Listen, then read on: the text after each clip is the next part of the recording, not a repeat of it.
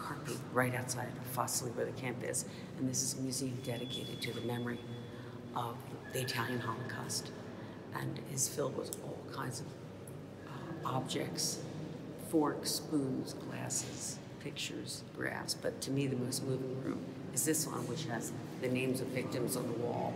And you can just see how heartbreaking it is. Here, I'll film some. And a lot of times you can see last names are from towns. Like there's someone, where's my one from Ascoli, Sacerdoti family. Where did that Ascoli person, Irma Ascoli.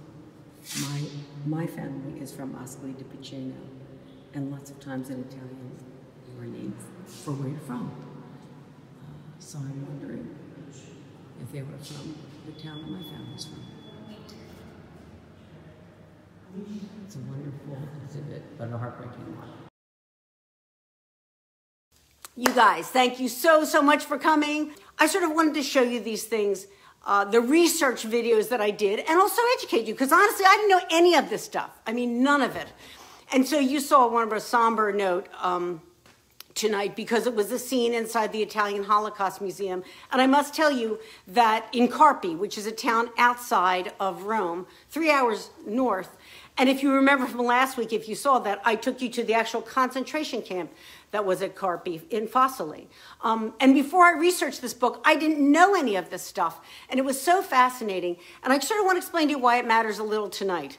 Um, first, let me set the scene for you in Carpi, because although a lot of Rome, a lot of Rome is throughout Eternal, Carpi is a small town. It's like small town Italy, and it is beautiful. It's medieval. I have some pictures here that I wanted to show you. The main square, it looks like this. It's really, really charming. It's sunny and open. It's got these great cobblestones. It's all throughout Italy and this arched way. You can see, and you see the people riding bikes. And the day I was there was with my assistant and best friend, Laura Leonard. She helped me with the research. And we were trying to find this museum, but we were hungry because we were tr- train ride and everything. And of course, we're hungry all the time. And it's Italy, so what are you going to do? But like, there's, it's land of carbs. It's like a theme park for carbohydrates. And so I was like, let's eat. And um, so we're looking around for a place to eat, and we're walking around this actual plaza. And at that point, there weren't a lot of people there. You can see how beautiful it is, and there's little restaurants there. But it's not a big like metropolis, so there's not a lot of restaurants like there was in Rome. In fact, one part we saw somebody do a little parade, and here's just a little parade, and it was basically Italian life, and it was the weekend. And so people were walking around, and in time, what we noticed is that they started to do the passeggiata, which is an Italian thing. And what it means is that after dinner, uh, Italians stroll around it, actually in these town squares, and we saw it. They kind of strolled around in a circle. And they all look terrific. I mean, they're like dressed great. The men look fashionable. The women look good. And it's not like it's about money. It's like they just take care of themselves. You know, there's an Italian thing called la bella figura, which I have terrible Italian, so, but that's it. And the idea is you make a nice figure, you cut a nice figure, you, you're presentable. That's probably the best translation. And what everybody does after their meal, or oh, before the meal actually, they go and they walk around in the circle and they say hello to all of their friends. They look nice. How are you today? How is everything going? And when we were there and we saw that, and we stopped in this little restaurant, and the chef came out to us because he's like was very nice to us because obviously we're tourists. And how did he know that? Because we were the slobs, like you saw. From I'm standing there with the jeans jacket and the backpack and the roots that are incarceration roots, like now. I committed a major felony, and um, he came out to be super friendly to us because we actually noticed there wasn't much on the menu, and it was in it wasn't in English, and we're struggling. And he's like, "I'll make you a wonderful dish."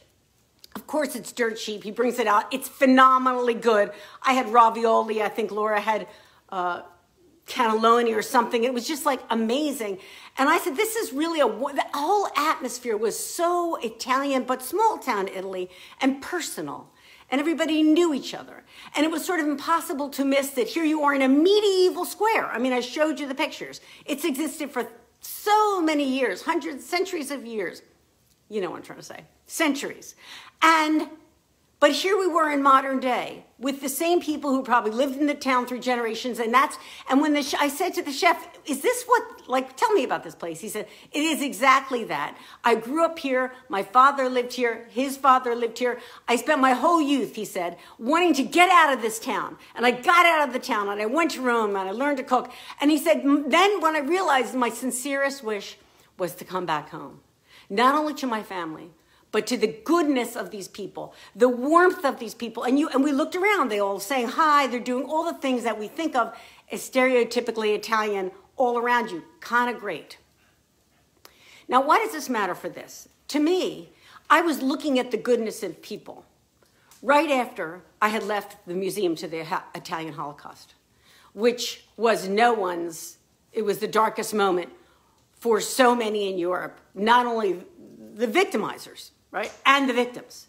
It was not a time of goodness in people.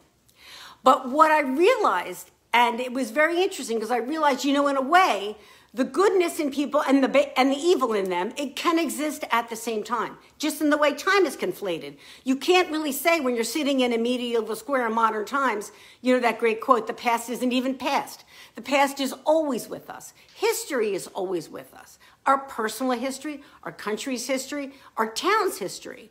So I was feeling that conflation of time at the same time that I was looking at the goodness in people. And when I wrote Eternal, I said, I want to see the goodness in people, even at the darkest moment. And when I did the research, I discovered like incredibly inspiring stories of how people banded together and risked their own life to save the Jews of Rome. There's a story in there you won't even believe. You will think I made it up because it's so incredibly brilliant and daring and clever and a ruse that these people did in this one instance and there are plenty of instances, but I wanted to focus on this one and tell the story of this incredible gambit, gamble with the Nazis to save the Jews of Rome. It's so inspiring, and it is about the goodness in people. You know, let me just mention this, and I know it sounds trite, but let me tell you, if you know me and you've read me before, I don't like when people say things are trite. I think it's cynical. To me, some of the greatest truths that sound trite are really, really profound. And when I was writing Eternal, you know, when you're finished, it's got five parts, right? Because it's this big epic, it spans all this time. And at the beginning of every part, I, you know, there's all these uh, quotes that inspire me or works of literature. Dante's in here. The Romans are in here. Mussolini's in here, so you can see firsthand what he was talking about. But one of the quotes that really inspired me was this one, and you have heard this before, because it, actually it's in Latin, but it's Omnia vincit amor. I take Latin but it's Love Conquers All Things by Virgil. Now, when I first put that in, I thought, boy, Scottoline, you're supposed to be a big time writer. You should be able to bring a little more heat than that. That's not that really profound or unusual. People will have heard that. But when I wrote Eternal and I saw these inspiring stories and I, and I focused on the goodness in people, I said, that is really the answer. Love conquers all things. Love, I'm not I'm a spiritual person. I believe that love thy neighbor as thyself. It really is the answer. And I think that's what Eternal's about. So even though it goes through this very dark time, and it's a dark time that, God forbid, you know, if we don't know about these times and we don't educate ourselves, um, God, we're condemned to repeat them, as Santa, Santayana said. I probably said that wrong. So anyway, you get the idea. I really believe that Eternal is an uplifting story at the same time that you will learn about these things and feel the drama of that moment and the love of these three people, Elisabetta for these two men and them all for each other, and try to wonder what is going to happen at the end.